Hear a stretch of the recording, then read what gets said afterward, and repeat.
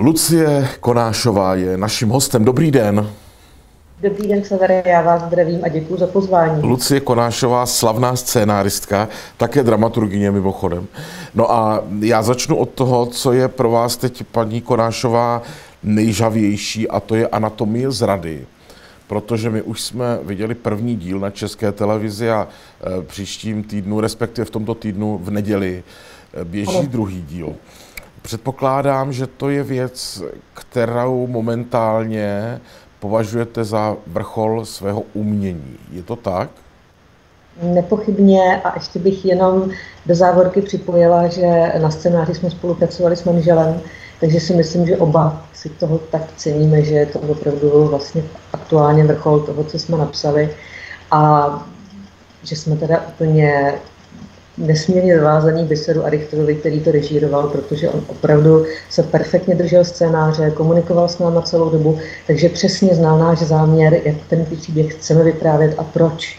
Jo, a skutečně ho taky tak odvyprávěl, takže děkuji mu strašně za skvělou spolupráci. Mhm.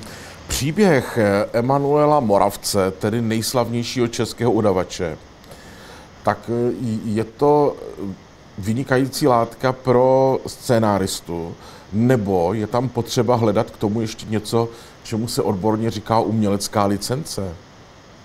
Já bych vás jenom malinko opravila. Asi bych nemluvila o udavači, protože si myslím, že to nebylo to hlavní, čím se Emanuel Moravec zabýval. Byl to především kolaborant. Mm.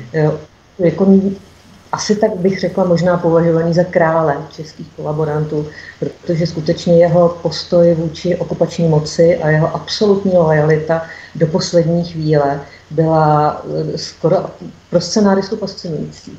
Jak zůstával věrný svému odhodlání kopat za tuto vlajku až do posledních dnů.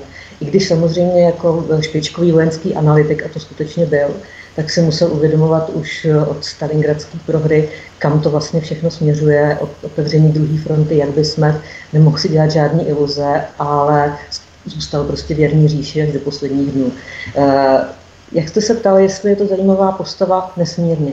Protože na samém počátku musím říct, že když jsme se s ním začali zabývat, tak pro mě, eh, jako víceméně pro lajka, asi jako pro většinu lidí, jaký obrázek mají o Emanuelu Moravcovi, tak eh, to byl taky jako rozřvaný hulvácký primitiv ze staroměstského náměstí nebo z těch slavných záběrů z Václavského náměstí, kde celý národ po skončení vlastně, nebo takhle po sebevraždě těch parašutistů Cyrila a Metoděje a zrušení vlastně staného práva, tak tam působí jako opravdu takový eh, ta rozeřvaná kreatura.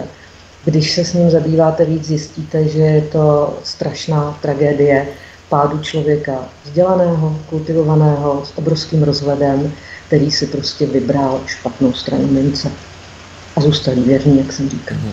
Já jsem se ptal hlavně na to, kolik je u takového příběhu, u takovéto figury potřeba ještě umělecké licence, tedy e, pomlčka fantazie, pomlčka lži. Mm-hmm. Samozřejmě na svém začátku, když se jako scenárista začnete zabývat nějakou historickou postavou a ještě navíc takhle vyhraněnou a nesympatickou a právem odsuzovanou, jako je Emanuel Moravec, tak není jednoduchý si vlastně určité figuře vybudovat vztah a musíte ho mít, protože jinak ji vlastně nejste schopni napsat a obhájit ji pro diváka, aby fungovala v tom dramatickém tvaru. Takže eh, jsme poměrně náročnou trasou hledali něco, čeho se na něm jakoby lidsky zachytit, co je na něm sympatického, na čem ho můžeme aspoň trošičku vystavit, tak aby to nebyla plakátová kreatura.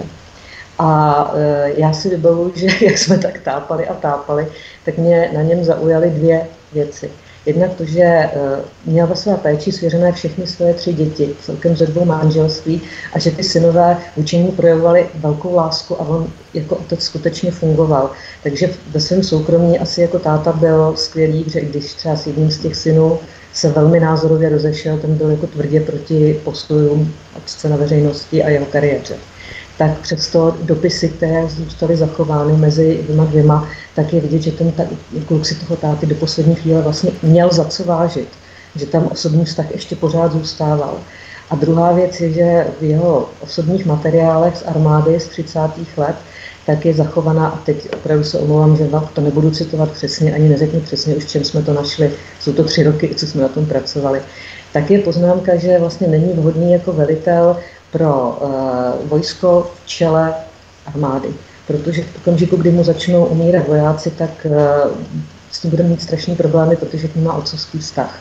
A ten otcovský vztah byl vlastně považován za určitý negativum, že není tak profesionální jako velitel. A to si myslím, že je strašně zajímavý, protože to v tu chvíli tomu člověku dává lidský rozměr. Mm-hmm. No, víte, my, eh, diváci filmoví a televizní, se mnohdy díváme na eh, životopisné filmy nebo částečně životopisné nebo na motivy a eh, často také vidíme, že vy, scénáristé, nám toho dobrého, tu dobrou postavu vylíčíte v dobrých světlech a tu zápornou postavu se vším všude ve špatných světlech. My vám to velkoryse odpouštíme, protože to vlastně tak chceme. Ale ono se říká, že na každém člověku je něco dobrého, že v každém je něco, co tak eh, u toho Emanuela Moravce to byl právě vztah k těm vojákům nebo vztah k dětem, nebo tam bylo ještě něco, nějaká další vrstva? Určitě by diváky zaujalo a překvapilo, jako to překvapilo i mě osobně, manžela ne, ten byl podstatně jako uh, informovanější na svém začátku práce na tomhle projektu, tak uh, že Emanuel Moravec byl zapálený vlastenec. A dokonce, neřekla bych, že přímo přátelský vztah uh, s prezidentem Masarykem, ale rozhodně obrovská úcta. A je, ví se samozřejmě, že se i znali osobně a dokonce Emanuel Moravec byl součástí čestní, toho týmu čestné stráže u prezidentovi Rakle. A vlastně na poput eh, Masaryka on začal připravovat eh, materiály, kdy jakoby mm, se snažil upozornit českou či nebo československou populaci na to, že jisté riziko ze strany Německa, které se začínalo uh, přiklánět čím dál tím vlastně více k nacismu, až to jako po, po vítězství Adolfa Hitlera ve volbách, takže to riziko je aktuální a že bychom ho měli vnímat, že bychom se na něj měli připravit a měli bychom počítat, že může nastat skutečně situace, kdy znova budeme čelit válce. Mhm. Takže tohle všechno jako se pojí s postavou Emanuela Moravce.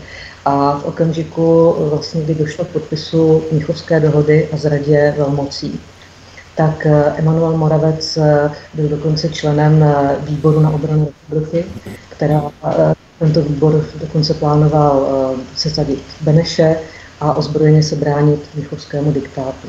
Takže je klidně možné, že pokud bychom nepřijali Mnichov, tak by Emanuel Moravec, který v té době měl velitelské povinnosti nebo byl dislokován někde u Znojma, tak možná bez mě by bylo náměstí Emanuela Moravce, který by hodně padnul by se klidně mohlo stát. Mm-hmm.